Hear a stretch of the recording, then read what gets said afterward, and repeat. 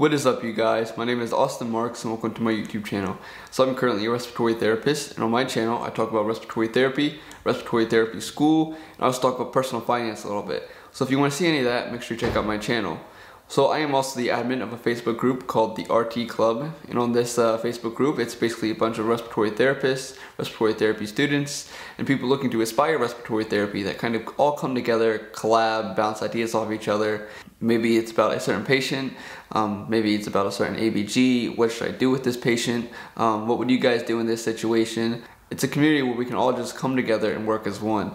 So if you want to be a part of that community, make sure you head over there. So I'm going to share what I brought with me to clinicals and then I'm to give you guys a few tips about clinicals as well.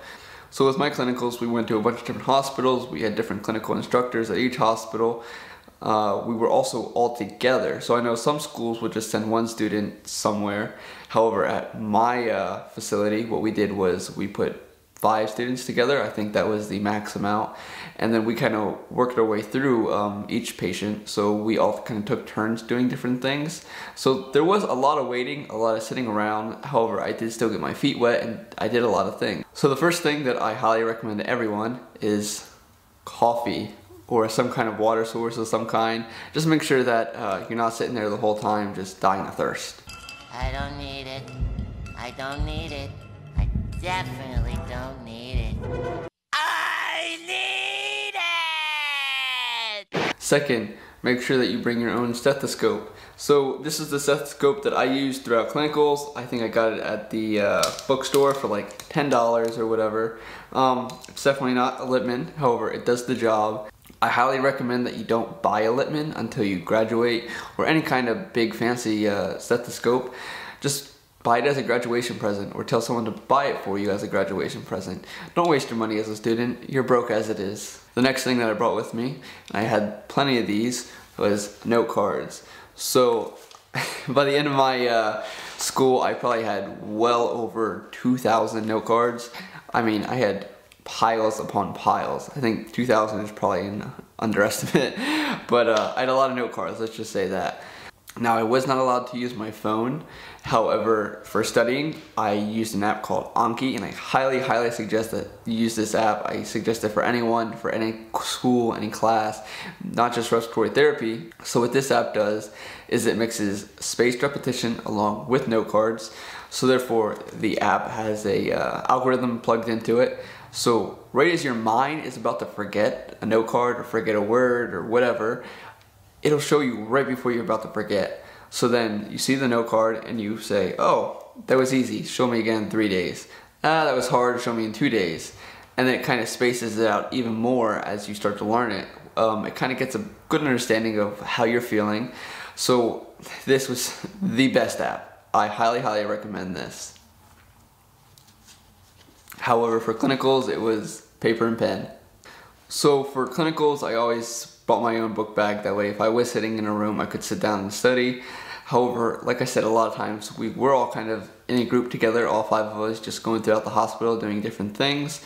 So this is the number one thing that I recommend for every student, every single student, is I think they should get the uh, the Oakes books. So like here's one on um, hemodynamics. Uh, here's one on respiratory care. And then they have one on mechanical ventilation and neonatal pediatric as well. Um, I think the whole bundle was like a hundred dollars or so. Probably the best hundred dollars I spent respiratory school, honestly. So for me, like the mechanical ventilation book, whenever people ask, what should I use to study for mechanical ventilation? I always, always bring them this book because it is a very small pocket guide. However, it has a lot of valuable information. It gets everything straight to the point. So it goes over all the mechanical ventilation modes. Um, talks about each individual setting, uh, such as like I time, rate, uh, tidal volume, why you'd want to move one versus the other. And then it also talks about the waveforms and flow. Just so much good information in this little book. It talks about um, what could possibly go wrong with the ventilator, what to look for. So like an example would be auto PEEP or auto triggering. Um, what's going on, how do you fix it, all in this little book. I highly, highly recommend the Oakes books. I believe you can go to their website or you can even buy them on Amazon. So I did not bring a pulse ox with me. Some students do. However, the facilities I were at, they were all provided. So we did not need to go buy one. I do know that some students will bring scissors as well. I have no use for scissors. I barely have use for scissors now. If I need them, I would just go out to the nurse's station or ask a nurse. So wrapping up this video, I'm gonna give you guys three clinical tips. So number one, ask questions. Um, if you don't know something, ask. And there is no such thing as a dumb question, so just ask away. Um, number two, volunteer, volunteer, volunteer. So you're gonna be doing this stuff in the real world, so do it now while you have uh, a preceptor watching over you to make sure you do it correctly. Because if you do it incorrectly in the real world, you could potentially cost someone their life, and you don't want that on you, I promise you that. And number three is to study while at clinical. So you're waiting around, study. Because you're gonna be there anyway, so why not study? That way, when you go home, you can actually do something you enjoy rather than studying.